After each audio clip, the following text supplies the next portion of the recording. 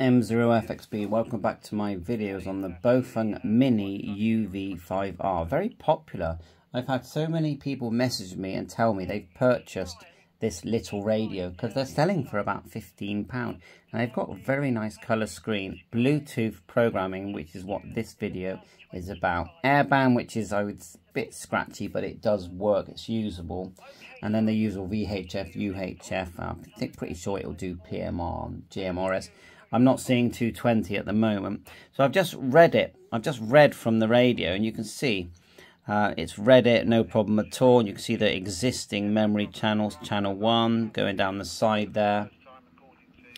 The name, the frequency and the CTCSS. So let's go to a new one. And have you noticed I managed to get 220 in there on uh, on channel 6, but I couldn't get it to transmit. So we just tap another one here to change. So it says here modify.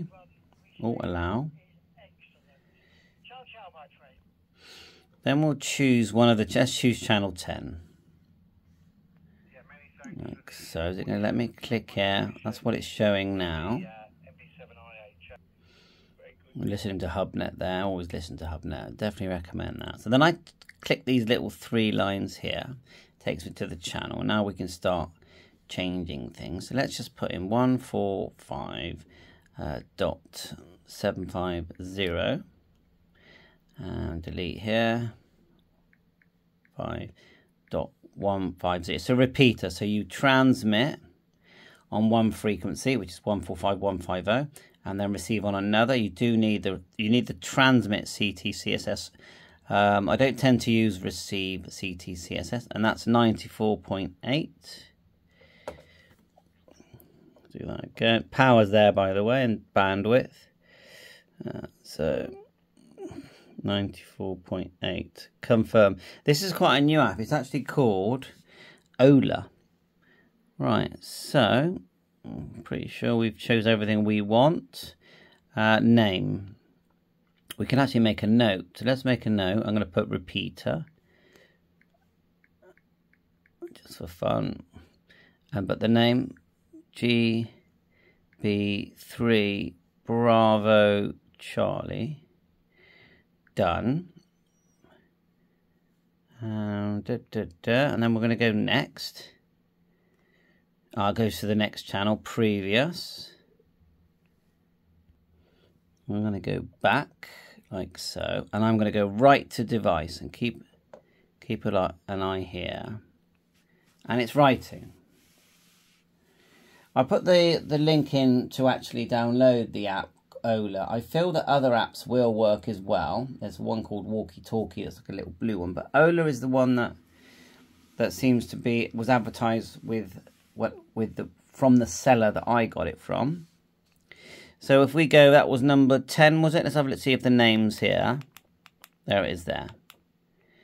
Uh, channel three. No, it was ten. Let's go to three. Let's go to ten. There it is there, GB3BC. That's the one we've just done. And it says here we can save. Save to our plan, confirm. Go back.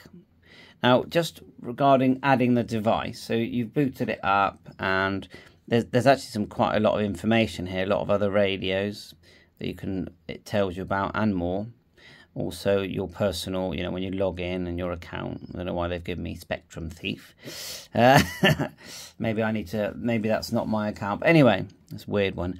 But anyway, to add it, I just went plus and it's search because I couldn't find it in the list initially.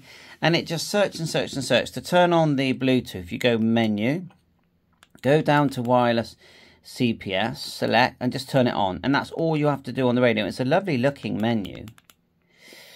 Okay, exit. Right, and um, it, it's not finding it now, but it did. It did find it. If we go to add manually, there it is. There, add. I accept the conditions and pair. It could be that I've um, was already connected. Yeah, and if we look here, it actually says connected.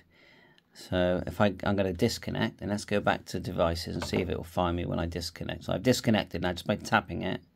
You see the little Bluetooth things here. See, it says DM32. Now, as far as I know, the DM32 doesn't have Bluetooth, so I did try and connect it, but there must there may be a new model coming out that's going to have Bluetooth device. So we're going to plus again, and let's try and let uh, see straight away when it's disconnected.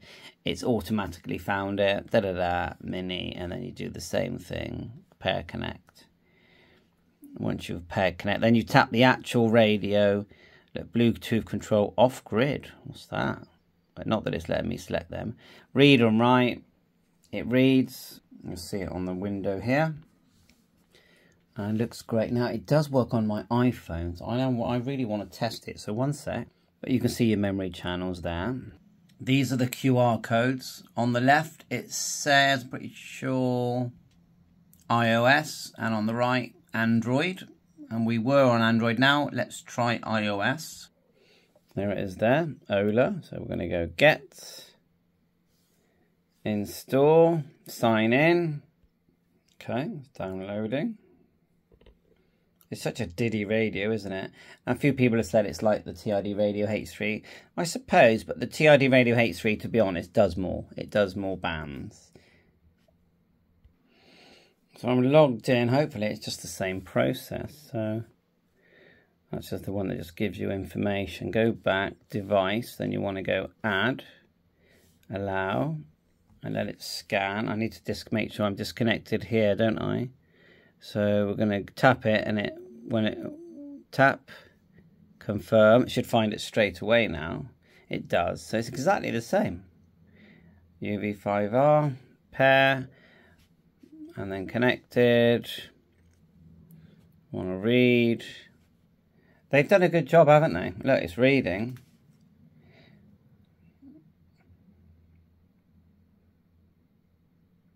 So I uh, was logged in as M0FXB. I wouldn't say it reads fast, fast. But you think, I mean, some people have told me they got this for £12. I'll leave it live. And uh, thanks for watching. I put the link into purchase, of course. And you're going to think, well, why don't need it? I've got 20 radios. But then you won't have the fun that I'm having. That's what people, especially when you're talking the cheap, the low end, you know, the, the £20 and under. And that is, it doesn't matter if you've got 30 radios.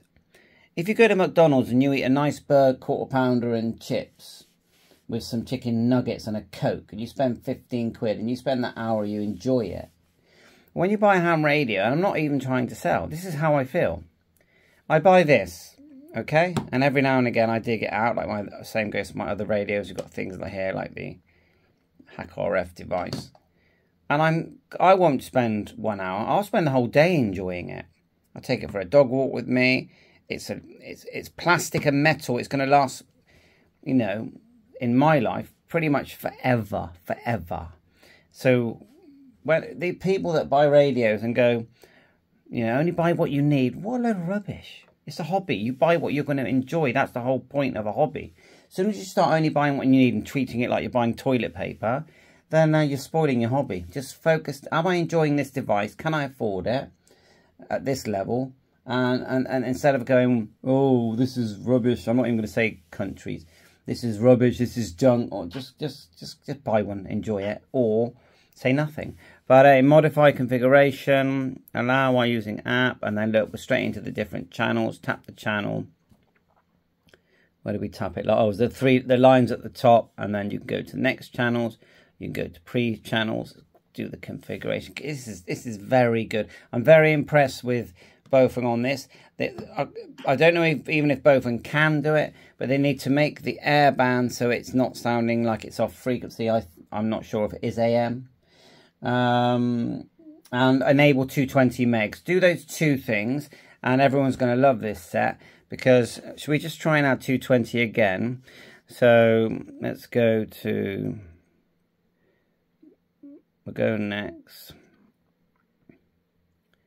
There it is there, 220. I even call it 220. Don't need CTT, transmit PAL. Right, so we've already done it. So um, let's go to menu 6. So we can add it. Let's go to menu 6. And when I try and TX, nothing. Nothing. Nothing at all. Well, it does on the yeah. you've got twin PTTs on these and a bright torch. And someone reminded me because I forgot how to turn the torch on, but I knew in a video. Press the middle button. When you press and hold, it does the scan. And if we do a, see if I can just quickly key up on one of my devices. Uh, let's change that frequency. That's there. Let's try now. It found it straight away. Did you see that? It's found it. Actually, it's picking up my hub now, I think. Slightly off frequency. They do tend to be. But come on. And then you've got full backlit keypad. Twin cable connections. Both on cable for programming. And the software works fine. I've tested it. Bye for now. Please hit the like, subscribe. And remember, enjoy your hobby. Don't buy what you need. Buy what you're going to enjoy. 7.3, catch you on air. Just for comparison and a shout out to Todd on his receiver videos with Iron Man. And I'm a Superman fan. That's how big it is. 7-3.